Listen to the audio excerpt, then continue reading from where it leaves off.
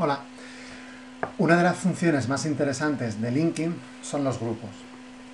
Mediante los grupos podemos eh, obtener información de temas que nos interesen y ponernos en contacto con otros profesionales eh, que tienen intereses comunes a los nuestros. En el menú Grupos podemos ver que todavía no tenemos ninguno.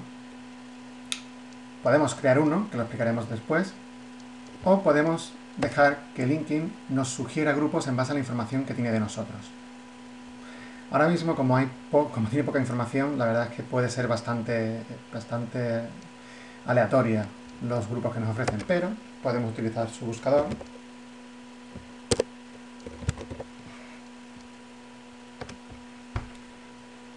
para ayudarnos a buscar grupos. Hay diferentes tipos de grupos, están los hay cerrados que requieren eh, hacer una petición para entrar y que te la aprueben y hay otros que son abiertos en los que puede entrar cualquiera.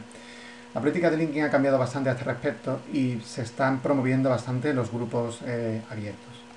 Así que no debe ser un problema participar en un grupo, sobre todo en los que suelen ser interesantes, suelen ser abiertos porque genera mucho más debate. Aquí podemos ver otras opciones de, búsqueda que tenemos, ¿vale? Como el idioma y la categoría. ¿Qué otra forma tenemos de buscar grupos interesantes? Muy bien. Pues entrando en el perfil de uno de nuestros contactos. Aquí nos sugiere que, que nos fijemos un poco en él para que nuestro perfil sea tan visitado como el suyo. Exploramos un poco el perfil de Manuel y vemos que él está en varios grupos. Podemos explorar sus grupos por ver si hay alguno que nos interese. Vemos aquí uno que puede resultar muy interesante, como el de protección de datos en sanidad. Podemos directamente pulsar unirnos aquí o antes de unirnos podemos echarle un vistazo al grupo. Aquí podemos ver los debates que se están generando en este grupo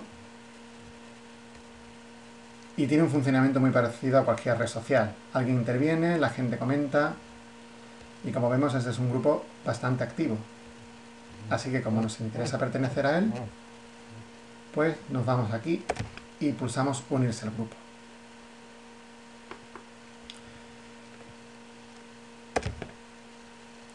Este es un grupo abierto, así que directamente se nos ha dado acceso a él, ¿vale?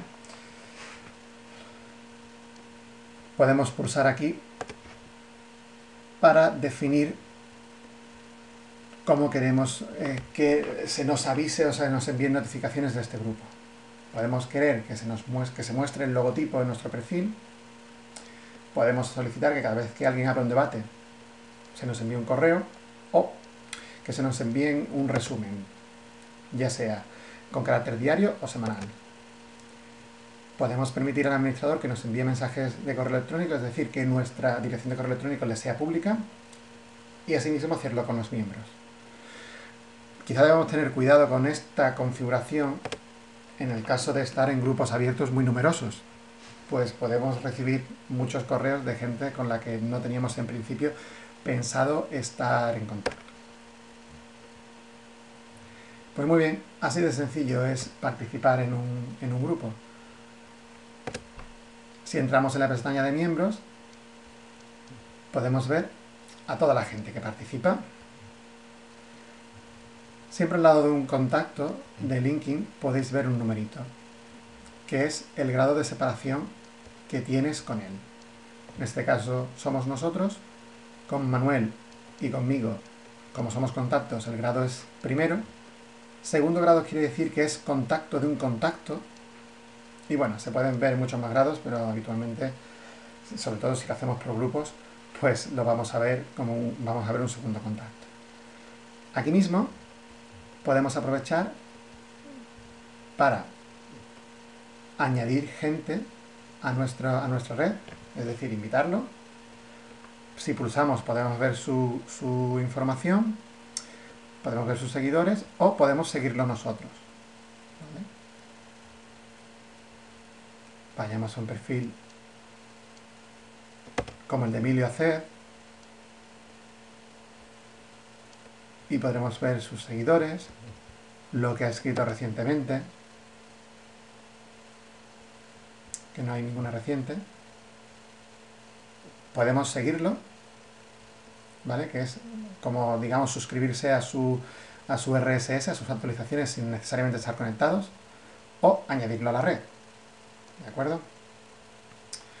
De este modo, los grupos, que en este caso vemos que tenemos uno, nos pueden servir para estar al día de temas que nos interesen y para ponernos en contacto con otros profesionales que tienen intereses comunes a nosotros. Bajo mi punto de vista, esta es una de las herramientas más potentes de LinkedIn. Así que os recomiendo que exploréis, busquéis los grupos más relevantes de los temas que os interesen y empecéis a interactuar con otros profesionales.